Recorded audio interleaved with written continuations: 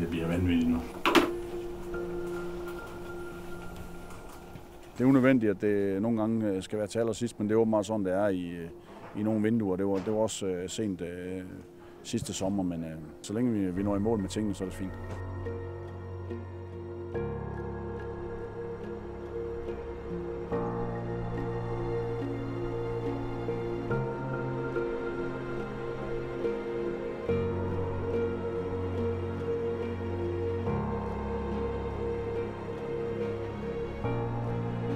Need, we really, really, really need the man. Yeah, but but it, yeah, because we, we we have another player going out, you know, so we cannot. We, we need we need we need some time, eh?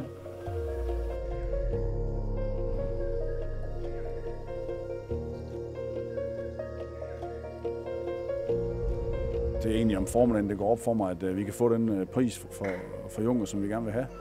Og øh, vores øh, muligheder øh, på den anden side, de er også pludselig øh, åbnet sig.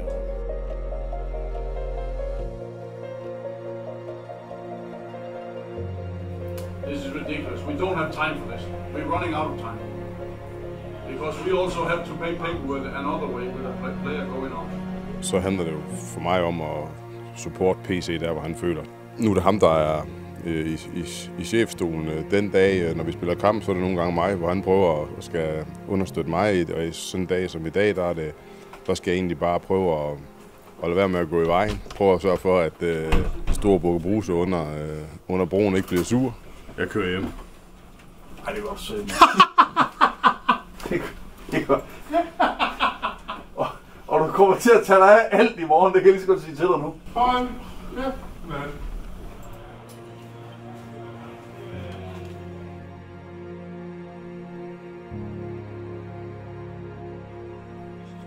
Når vi skal til at lukke en spiller, så er det ofte rart at tale med sin træner. Øhm, og det er ligesom der, jeg står i standby og, og prøver at, at, at gøre det. Ryan. David Nielsen, AGF. How are you? Everything is good at your end? Jamen, For det første så kunne jeg høre på ham også, at det været en hektisk, det været hektisk for ham også, og så prøvede jeg bare at have en almindelig samtale, hvor han fik lov at høre lidt om mig og, og, og lidt om klubben. We're at a really good moment now with the team. We need a striker here. We have been watching you now for a while.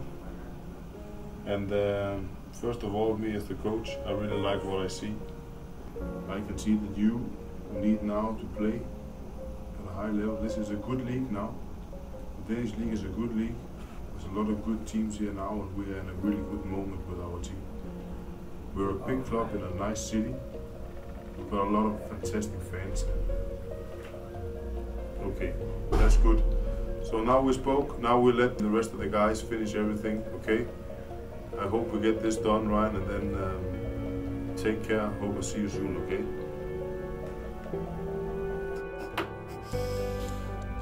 Så for helvede. Det kommer før på telefonen.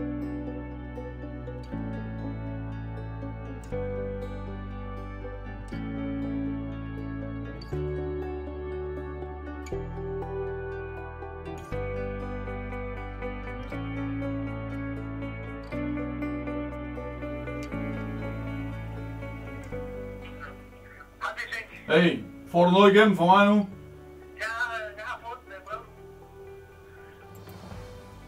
Ja, ja jeg sender, jeg sender ophørt nu.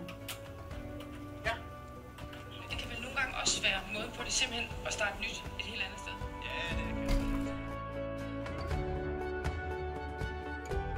Vinduet faktisk lukket 0002, står der på vinduet. Vi bliver selvfølgelig lige hængende lidt. Det kan jo være, der drøser Det er helt dejligt. Hold kæft, mand. Ole Ole Ole.